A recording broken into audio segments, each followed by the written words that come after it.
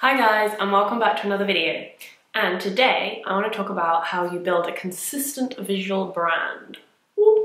Just gonna consult my notes. Okay, so obviously this is like a big subject and I do a lot of this on a daily basis and I cater everything to the individual, to the individual artist or band and their needs. So I'm gonna try and be very concise and just cover the basics in this video to give you an idea and hopefully a kickstart in the right direction. So there are basically many options you can play with when putting together your consistent visual brand and these are include but are not limited to hair and makeup, styling, clothes, accessories, photography style, editing style, colour scheme, different themes, art themes, movements, um, art styles, locations. Yeah, you get the picture. Each little element within the creative can be built on and used as a consistent way of building a visual brand. So picking something or a number of things within these categories that makes you stand out, that is unique to you, has to be authentic, obviously. And being consistent with that on an ongoing basis is how you start to build your visual brand, which Eventually, we'll paint the whole picture of your whole brand. The visuals are obviously a small part of that.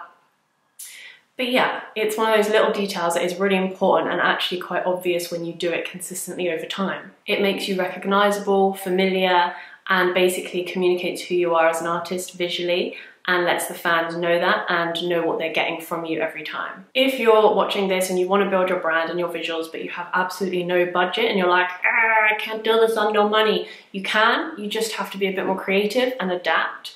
Obviously, if you're working with zero budget, do not make crazy pushing boundaries outfits as one of your factors that you're going to be consistent with.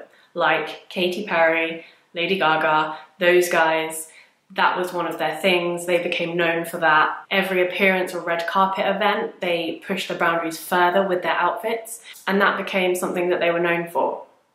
So that's kind of what I'm talking about. But if you are working with a budget, then consider something like color scheme, like the white stripes. Um, that's a really obvious one you instantly associate that with them, you know that, that that's what they do, and it's incredibly simple. So just bend this to work with you and your budget. And yeah, consider all your options and see what works best for you. Obviously, it has to be authentic, so don't just pick an obvious color scheme because it's easy if it doesn't feel true to you, because that will also show and you just won't be happy.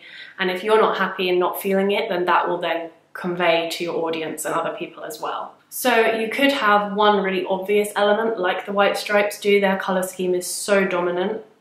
Or you could have a few different things going on, a bit more subtle maybe, and find a few things that work in harmony with you and your brand and work from them. For example, you could have a colour scheme and then a certain hairstyle that's unique to you um, and then pair that with a certain photography style.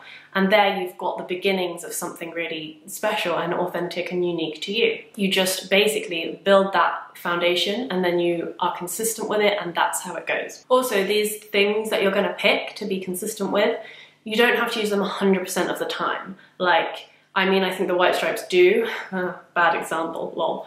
Um, but if you pick a color, say, you don't have to like wear that color head to toe all the time, every single day. That would be mental. So just be consistent enough with it that it becomes familiar to the people watching you, but don't overdo it. So find the sweet spot between obviously never doing it and doing it 100% of the time and just put it out there, be consistent, but obviously break it up as well. And again, you have to decide on which factors you're going to build from and how often you're going to use them. So it is a lot of decisions and obviously that's what I help artists with. But if you are able to do that on your own, then hopefully this will give you a bit more of an understanding and a starting point to then build your visuals and build your brand and yay! And I'm going to touch on here as well just on Sia because um, she's an excellent example of this, she obviously hides her identity and has made that part of her visuals. So again, just cater everything to you. So if you do want to conceal your identity or I don't know, you want to always be facing backwards and not frontwards or anything, it doesn't matter. It doesn't matter if it sounds weird. If it feels right for you and you want to do it, run with it.